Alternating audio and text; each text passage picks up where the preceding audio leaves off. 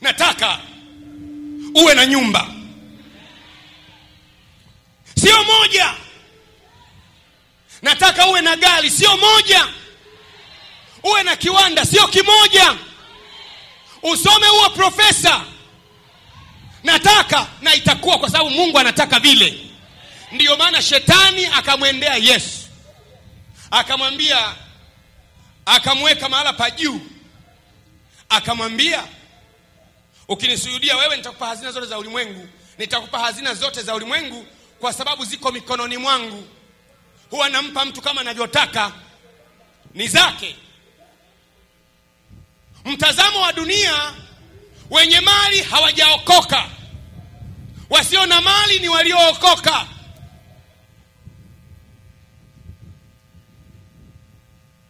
Yaani masikini laki moja wanaongozwa na tajiri mmoja. Na wote wanamlilia. Sikiliza vizuri. Mungu alikuleta duniani akiwa na lengo la kuanzisha koloni. god wants to colonize the, the world through you. Anataka dunia ishike kaduni ya mungu kupitia wewe. Ufalme wa mungu sasa injili ya ufalme ni kwamba injili inahubiriwa mpaka injili ile inageuka inatengeneza ufalme. Na mali. Jamani ukimwamini yesu tu una sifa ya kwenda mbinguni. Lakini kama kuna nafasi ya kwenda mbinguni ukiwa tajiri kwa nini uingie maskini? Mbingu yote washangae unaweza. Nasema unaweza. Hebu sema kwa jina la yesu. Nakataa umaskini. Kukataa haitoshi. Haitoshi. Lazima tuchukue hatua. Narudia tena narudia tena narudia tena.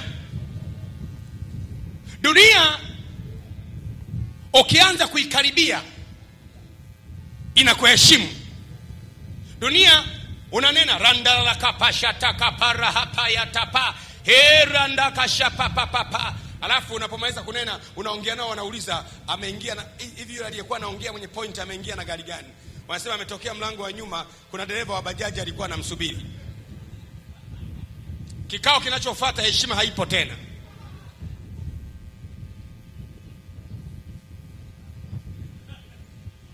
Bibii inasema masikini hana rafiki lakini tajiri huwakataa. Ukiwa masikini kumpata mtu rafiki mpaka ukamwombe naomba tuwe karibu tusaidiane. Ndani yako wewe kuna hazina lakini umekosa mahala pa kuanzia. Mimi mungu amenipa ni kuonyeshe mahala pa kuanzia narudia tena mungu amenipa nikuonyeshe mahala pa kuanzia. Na jumapili ijayo natangaza mahala pa kuanzia kwa jina la yesu. Natoa tangazo jumapili ijayo mahala pa kuanzia. Mgeukie jirani yako. Muulize una nyumba? Mwambie akupe jibu. Kama akijibu hana mwambie siku zao za kuabudu hapa zimehesabiwa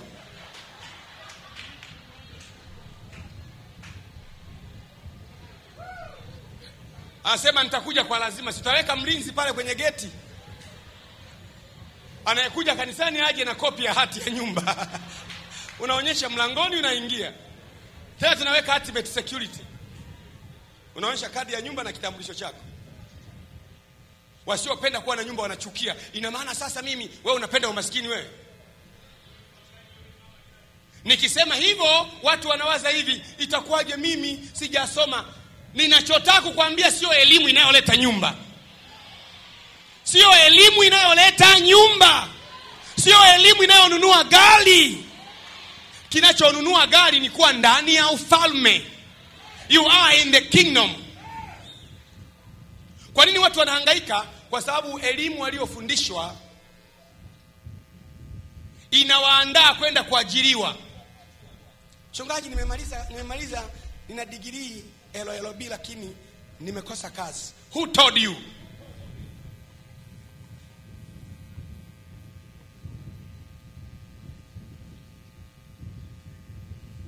Hivi unajua umaskini wenyewe ni ugonjwa tosha? Unajua hivyo? Ile tu kulala hujui utakula nini kesho. Hela ya mkaa haipo.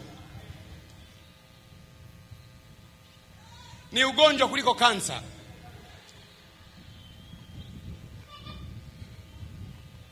yule mwenye nyumba imebakia wiki mbili ya kulipa kodi ya nyumba anapita pale nimepita kuwasalimia tu. Ni ugonjwa tosha.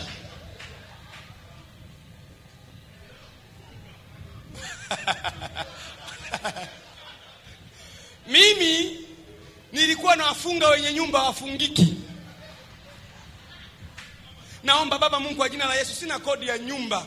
Na amuru kwa jina la yesu mwenye nyumba asije mwezi huu ikikaribia tu namuona anapita pale. Ama mchungaji mtumishi wa mungu nimetaka kusalimia tu ujue. Hela yake inatakiwa. Unaona anakuja kila siku. Zimebaki siku sasa anakuja kila siku. Nawasalimia tu. Kuna wakati mwingine anapita pale anasema mchungaji nawahi nilikuwa na miadi mahala fulani anakuza hivi hii mchungaji leo tarehe ngapi kweli? Anataka ukumbuke mkataba. Ni haki yake usiseme mimi sina kazi sina koti sitakuwa na kiwanja. Ah, ah. utakuwa nacho. Utakuwa nacho wewe. Badala ya kuwa mpangaji upangishe. Yaani mi naona inawezekana kweli. Naona inawezekana kweli. Nataka nianze semina ya kufundisha haki za mwana wa mungu uwe na nyumba. Uwe na gari uwe na mshahara mzuri. Na sio lazima uajiriwe. Sio lazima. Wote walioajiriwa baada ya pinda mgongo kuna inua mgongo. We hujawahi kujiuliza kwa nini malipo yanaitwa kinua mgongo? Maana yake wamekupinda mgongo wanajaribu kuinua sasa hauwezi kuwa tajiri kwa kuajiriwa. Never. Never. Hauwezi kuwa tajiri kwa kuajiriwa. Haiwezekani. Kuna mambo mengine ya ziada ambayo wewe hujayajua kwa sababu umefundishwa hivi. Ukiokoka unaingia kwa yesu. Ukiingia kwa yesu unapiga majeshi unapiga majeshi unapiga majeshi. Wachawi wanakaa mbali. Ehe baada ya wachawi kukaa mbali. Chakula chakula sasa chakula.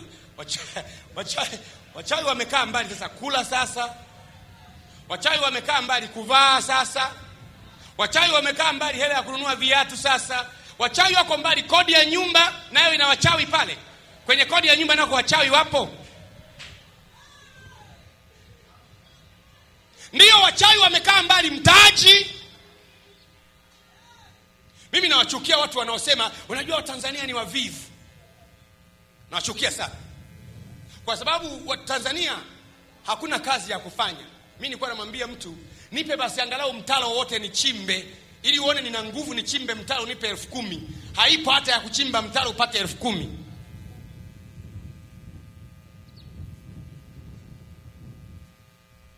Lakini ni kwa sababu akili imetengenezwa vile. Lakini there are things that you can do kuna vitu unaweza kufanya vya kuletea utajiri. Uwe mzee uwe kijana. Asilimia sabini ya watu duniani ni vijana wenye chini ya miaka thelathini na tano. Asilimia sabini ya watu duniani ni vijana chini ya miaka thelathini na tano.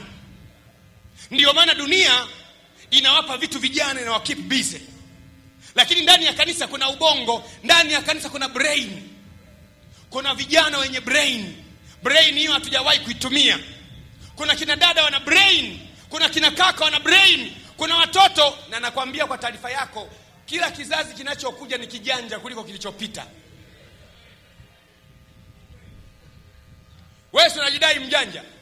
Una miaka kumi na nne kumi na tano kumi na sita. Wanaozaliwa wenye miaka miwili sasa hivi watakuwa wajanja kuliko wewe.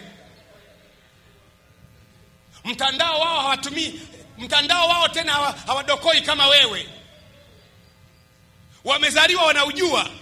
Si unajua mimi na wewe tumezaliwa kwenye mcdos kwenye rotas kuna wengine hawajui mcdos kompyuta ya kwanza mimi kuwa nayo ilikuwa na gb mbili. Ndio ilikuwa ofisini kwangu ilikuwa ndio kubwa imetoka japan. Gb mbili. Halafu ina booting disket, halafu ina mambo ya rotas na mcdos yani yani yani. Tumetoka mbali lakini watoto wanaozaliwa leo wanajua kila kitu. Mtu uliyezaliwa sema unaangalia kutumia ipad mpaka una na diploma ya information technology. Lakini unakaona katoto kengine kanadokoa tu tan, tan, tan, tan, tan, tan. unauliza bwana we ulimwengu unaendelea? Lakini lazima wewe ukiwa kwenye ufalme wa bwana umiliki. Mapepo yanayokuzuia umaskini tumeshayakemea imetosha sasa ni kanuni za kuondoa umaskini za kujenga nyumba kanuni za kusafiri kwenda nje ya ng'ambo kanuni za kusoma kanuni za kuolewa upate mume mzuri.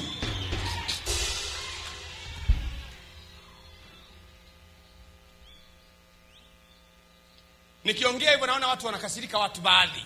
Wewe hama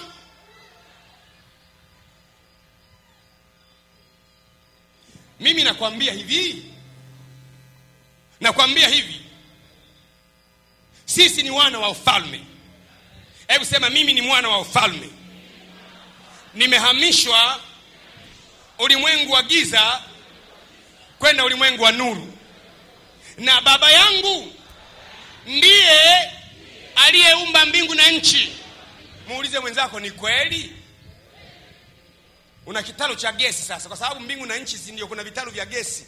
Una machimbo ya tanzanite una machimbo ya dhahabu una machimbo ya almasi una mafuta una nyumba. Aliyeumba mbingu na nchi ni baba yako. Ni kweli? Ni kweli? Lakini baba akizaa mtoto mpumbavu si kosa la baba ni kosa la toto jenyewe.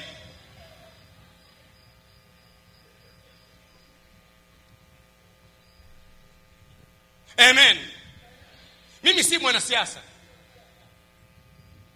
Lakini jana nilihudhuria mkutano mmoja kule arusha nishangaa kweli. Mi nilishangaa sana. Of course tulikuwa maaskofu wengi tumekaa. Mheshimiwa ameweza kuhutubia anataka kukaa. Mkutano watu ukalipuka tunataka na gwajima ahutubie. Mi nikastaajabu. Kwanza nikastaajabu. Ahutubie sasa mimi ni huyu mkutano wa kisiasa mimi nihutubie nini sasa watu wanaangana watu wanarukaruka, ahutubie mpaka aliyekuwa anaongea mheshimiwa akanyamaza akasema jamani kwa kuwa mnataka sasa inabidi aje hapa sasa nihutubie nini sasa lakini nataka nikwambie jambo moja unasikia eh? nataka nikwambie jambo moja unasikia eh? unataka kusikia eh? ule mfungo wa siku thelathini mwanzo wa mwaka mambo yameanza.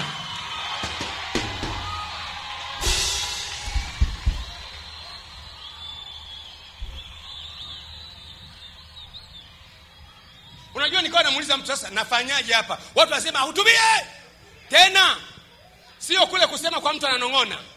Wakasema wote kwa mara moja gwajima gwajima gwajima mi najiuliza hii what is happening? Watu wanasema bwana nenda bwana soko soko linakuhitaji.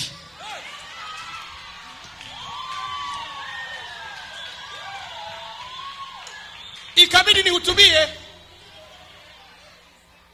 Na nawaambia wale mnaonisongasonga wewe unanisongasonga kwa nini? Na wewe nikaribishe kwako nitahutubia. Unajua mimi wanaambia watu mimi sina upande. Sina upande. Mtu anayenitambua unanikabilisha kwenye kihenge chako na hutubia. Kama hujanikaribisha usilaumu wengine. Nikaribishe njoo hapa. Na hutubia. Si sasa ninamiliki juu ya nchi umesahau? Si ninamiliki juu ya nchi? Ninamiliki juu ya nini? Na wewe ni mmiliki juu ya nchi.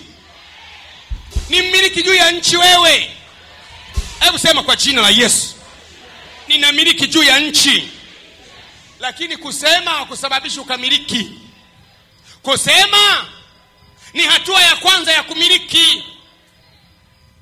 Kusema akasema ikawa.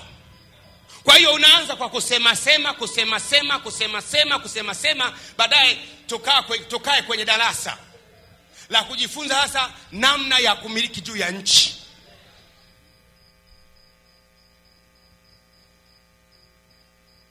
Dada eliza tunakupa muda fulani. Huna kiwanja baada ya muda ule umejipeleka potential shepherd automatically. Kutoka ap mpaka potential shepherd umejipeleka automatically nataka nifundishe namna ya kumiliki mali na fedha. Siku zote mi sijawahi kufundisha kuhusu fedha. Wanajua watu wa ufufuo. Lakini nimeambiwa sasa kwa kuwa ni saa ya kumiliki kule kufyeka tawanya vunja haribu tekeleza, nyonga nyofoa bomoa ng'ata haisaidii. Usipofanya haya tunafyeka tunang'oa tunabomoa tunavunja tunaharibu tunaanza kusema sasa namna ya kupata mtaji. Namna ya kwanza. Ukitaka kupata mtaji moja mbili tatu nne tano. Hakuna mtu duniani ambaye duniani ambaye amezaliwa aje afe maskini. Kufa maskini ni uchaguzi. Isipokuwa kwa sababu ya kutokujua unawaza kwamba unajua mimi kwa kweli ningepata tu mtaji. Hata kama ukipata mtaji kama una elimu. Watu wengi walio hapa wana mkopo wanadaiwa sasa hivi marudisho. Wengi tu. Ukimwangalia usoni najua huyu anadaiwa marudisho huyu. Wewe mwangalie tu usoni mwangalie tu usoni. Hebu mwangalie usoni una marejesho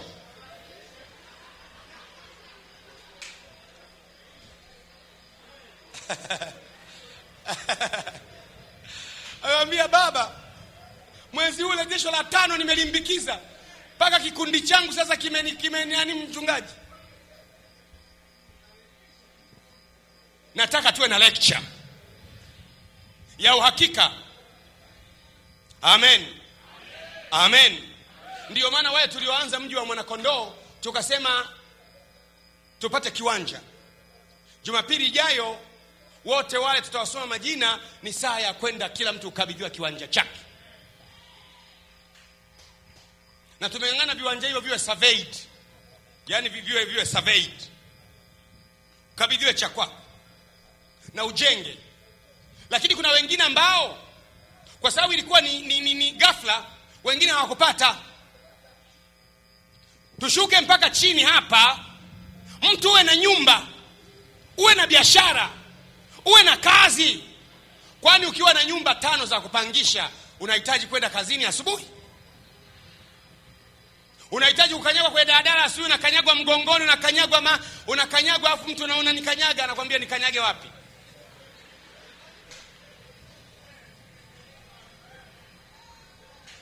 Unaona mtu ameukanyaga kwenye mguu namwambia umenikanyaga kwenye mguu anakwambia kwani umetaga mayai hapo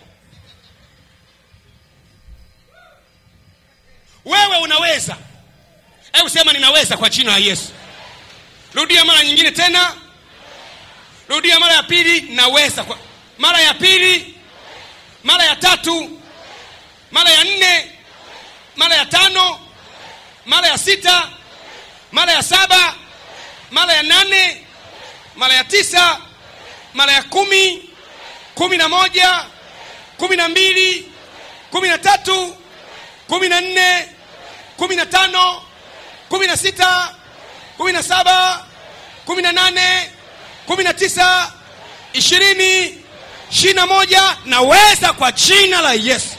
Unaweza nini? Mwambie kumiliki nyumba kununua gari kuwa na biashara yangu kuwa na mtaji. Ninaweza. Sisubiri kuolewa Unajua kwa nini binti zangu wengi wanarudi nyuma? Kwa sababu wanasubiri kuolewa iwe kama sehemu ya mafanikio. Sahau, yule anayekuoa naye amechoka kama ulivyochoka wewe.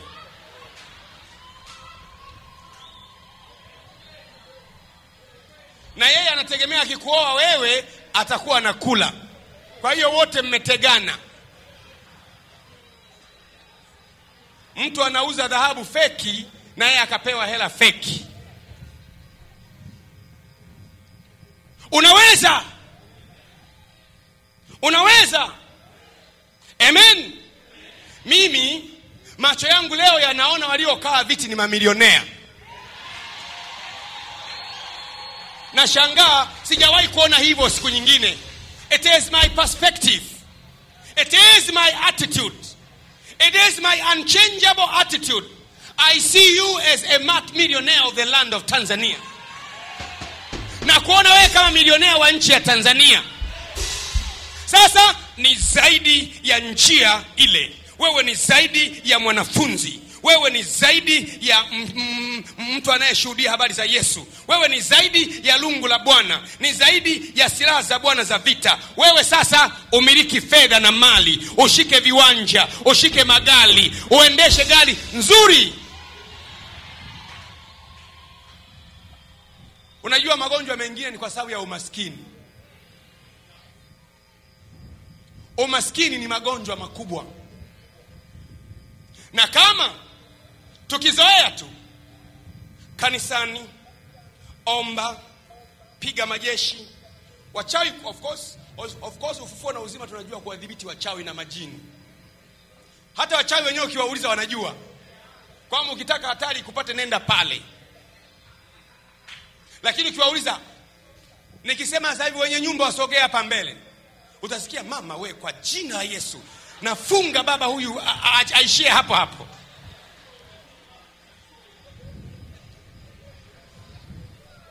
Nikisema aliyekuja anaendesha hapa nasikia baba we kwa jina la yesu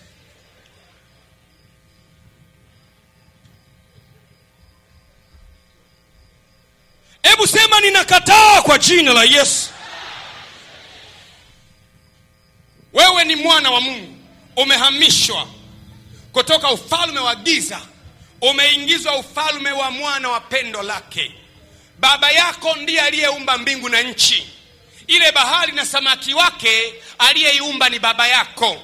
Ile ardhi na madini yake na tanzanite na gesi aliyeumba ni baba yako. Lakini tumekosa mahala pa kuanzia. Tumekosa elimu ya kuanzia mahala pa kuanzia na mtu wa kutuasha moto. Kabisa. Sasa hivi unaweza. Utaona labda uwe sio mtu. Kweli kama mungu aishivyo hakuna nilichosema na akikufanyika uwe na nyumba kwa jina la yesu nasema uwe na nyumba kwa jina ya yesu. Ile amen haileti nyumba. Amen ni hatua ya kwanza kwamba niwe na nyumba. Sawa kama ulivyosema. Baadaye tuanze sasa. Namna ya kuwa na nyumba. Namna ya kuwa na kiwanja. Angalau tanzania wanapotajwa mamilionea wa ufufuo wawepo angalau hamsini stini au tisini au arobaini au mia tatu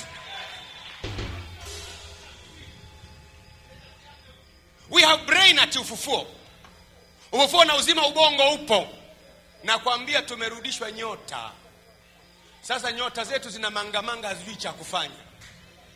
Kwa sababu ulikuwa na nyota ya hela fedha imerudishwa. Sasa nyota yenyewe ina, inakosa hewa. Mbona mimi ni wa hela? Mbona hakuna hela hapa? Kumbe kuna namna ya kupata fedha. Hebu shika moyoni nataka kuomba kwa ajili ya mtu. Shika kwenye moyo nataka kuomba kwa ajili ya mtu. Nasema jumapili ijayo nitatangaza semina maalum ya namna ya kupata fedha kujenga na kuanza maisha mapya. Na baada ya muda nitatoa miezi au miaka ya wale wote leo niliowafundisha unakuja na hati yako kwa hiyo kama wewe ni mtoto mdogo unaona huna uwezo wa kuja na hati usije kwenda darasa langu. Kwa sababu utaumia utakapodaiwa kuja na hati yako. Baba kwa jina la yesu. Huyu ni mwana wa ufalme. Lakini dunia imemwambia eti yeye kuwa na mahali si sawa. Dunia imemwambia kujenga nyumba yeye eti si sawa. Watu wa dunia wamejiorganize yeye akifanikiwa akawa na mali akawa na nyumba wanamwita yeye ni mchawi. Lakini wao wana nyumba na sio wachawi. Yeye akiwa na magari anaitwa yeye ni mwanga. Lakini wao wana magari hawaiti wanga. Nabadilisha mtazamo huo kwa jina la yesu. Kuanzia sasa napanda mtazamo wa kimbinguni. Ninaamuru moyo wako ufunguke. Mapepo uliojazwa ya umaskini. Na yaamuru enyi mashetani wa umaskini tokeni ndani ya mtu huyo sasa hivi kwa jina la yesu. Toka kwa jina la yesu. Ninaamuru kila mtu awe na kiu. Ya kufanikiwa sio kwa sababu ya mshahara ulionao. Ya kufanikiwa sio kwa sababu ya kazi ulionayo. Ya kufanikiwa sio kwa sababu ya ndugu ulionao ni kwa sababu ya njia ambayo mungu anataka kutengeneza ni wakati wa kumiliki fedha na ni wakati wa kuijaza nchi kwa jina la yesu. Na kila mtu aseme amen. Pigie bwana makofi kwa jina la yesu. Sema mimi yani wewe nakataa kuwa maskini kwa jina la yesu. Wiki hii namalizia na wiki ijayo kwa jina la yesu. Na inawezekana uliwahi kuolewa wewe na mume mwenye mali ndiye anayekutukana sasa hivi? Kwani ulikuja na nini? Sikuja na mabegi tu? Chukua mabegi yako. Yanatolewa pale nje mabegi. Unaweza kusema mume wangu jamani mume wangu jamani. Lakini fedheha hiyo inakoma. Mungu akikupa mali. Mungu anaweza kukupa mali wewe mwenyewe akafungua milango ya biashara akafungua milango ya kazi akafungua milango ya safari na ya mtaji lakini mtaji bila elimu ya kutumia mtaji haitakusaidia. Mtaji na wenyewe bila kuvunja mashetani wanaoleta umaskini. Tumewavunja vunja sana mashetani wa umaskini. Tumemaliza. Tunataka sasa practically kuwa na duka tena. Kubwa. Kubwa. Kuwa na safari tena. Kuwa na biashara tena. Na jambo hili linawezekana. Hebu sema amen naomba kila mtu shika sadaka yako mkono wako wa kuume tumtolee bwana.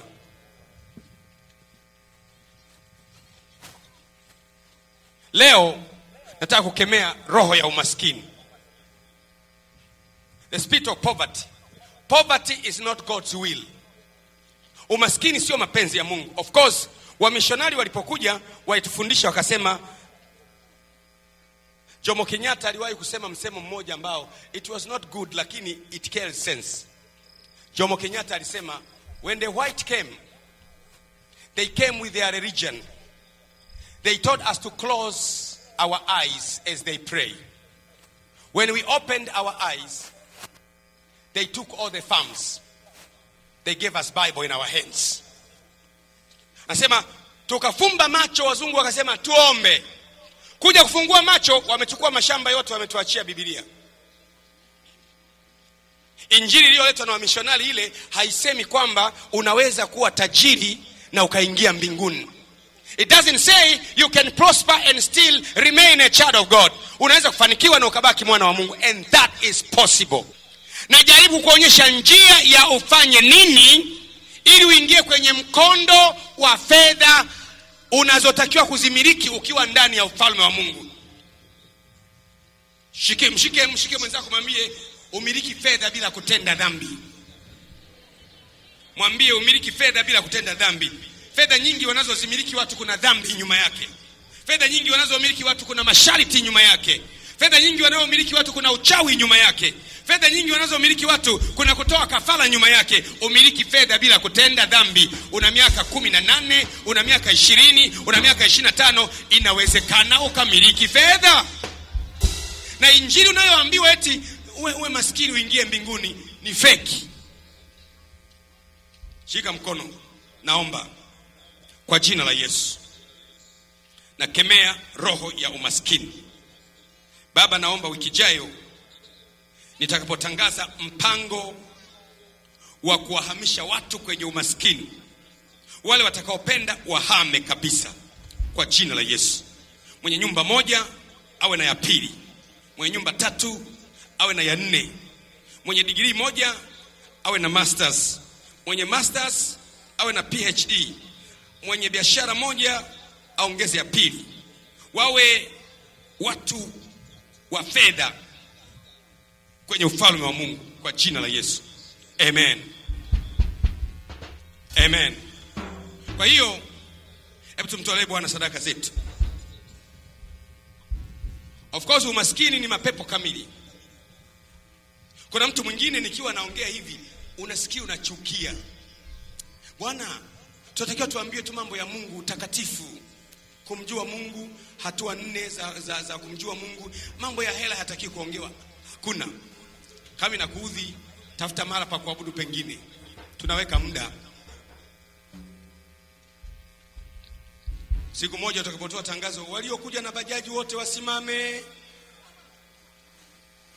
waliokuja na daladala wasimame, kwa sababu si, si, sio elimu yako inayokupa fedha.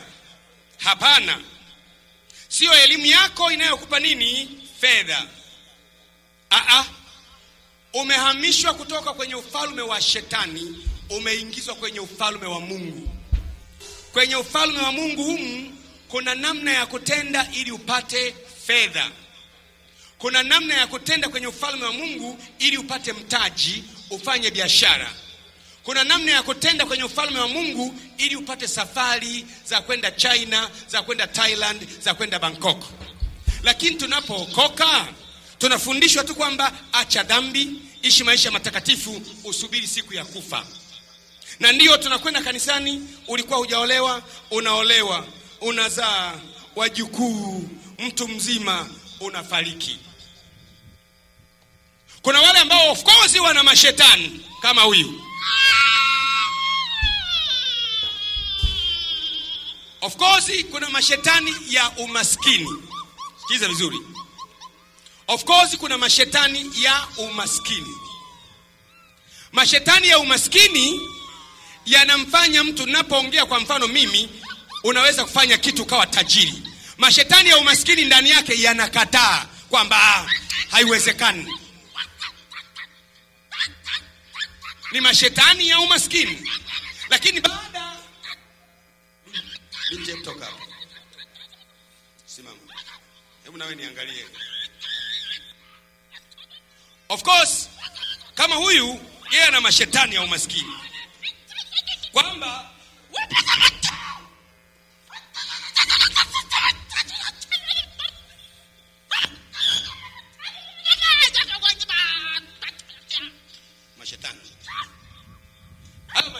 ya umaskini. Mashetani ya umaskini maana yake ni nini? Hebu hebu mwache kwanza, hivi tunatoa sadaka eh? Jamani, tuendelee kutoa sadaka huyu mnafundisha, sawa eh? Sawa eh? Hebu e, tuangalie kwenye Biblia Wakorinto wa pili. Mtu afungue Biblia.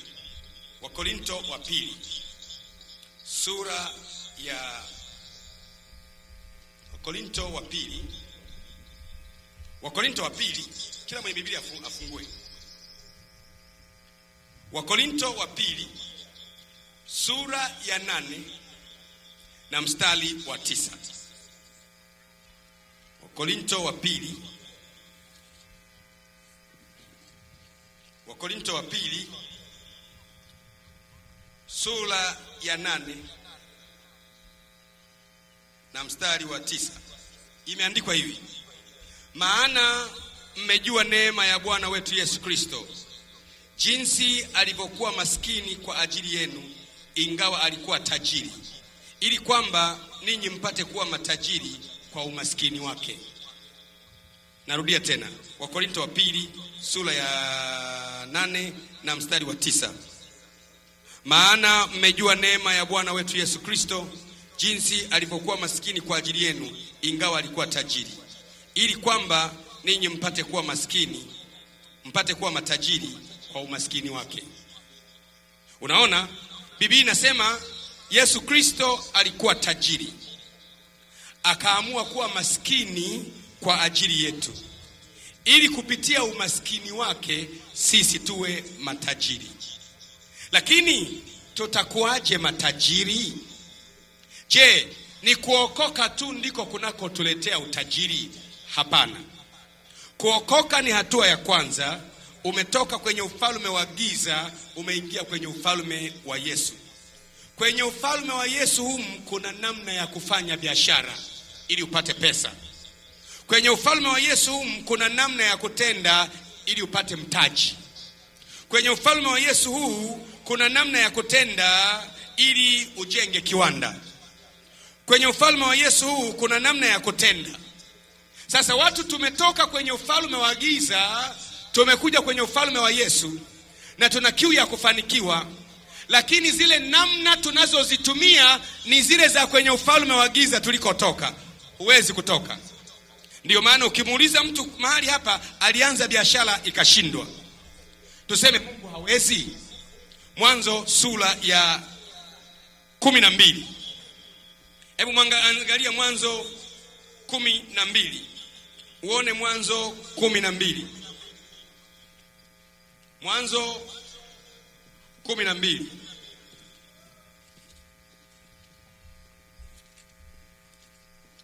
Mwanzo kumi na mbili huku tunamtolea Bwana sadaka. Mwanzo kumi na mbili nisome nisome Mwanzo kumi na tatu sorry, Mwanzo sura ya kumi na tatu Mwanzo sura ya kumi na tatu mstari wa pili. Naye Abrahamu alikuwa ni tajiri sana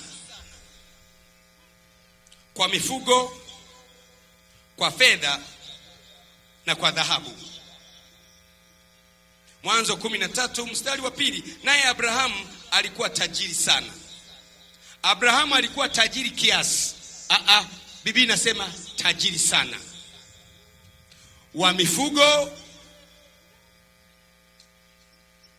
wa fedha na dhahabu. Abrahamu ambaye ndiye baba yetu wa imani. Kwa hiyo kumbe Biblia ambaye hata kama ungemsaidia kama roho ya umaskini haijatoka hawezi kufanikiwa. Cha kwanza unatoa roho ya umaskini, kama huyu huyu, eh, wewe huyu, eh, huyu yeye umas, roho ya umaskini ni pepo wa umaskini. Pepo wa umaskini yupo. Kwa hiyo huyu hata kama ukimfundisha mara mia moja hawezi kutoka. Kwa nini? Ni kwa sababu ya roho ya umaskini. Lakini mtu unapokemea roho ya umaskini inapotoka, kuna hatua za kufanya. Possess riches inawezekana na kuamuru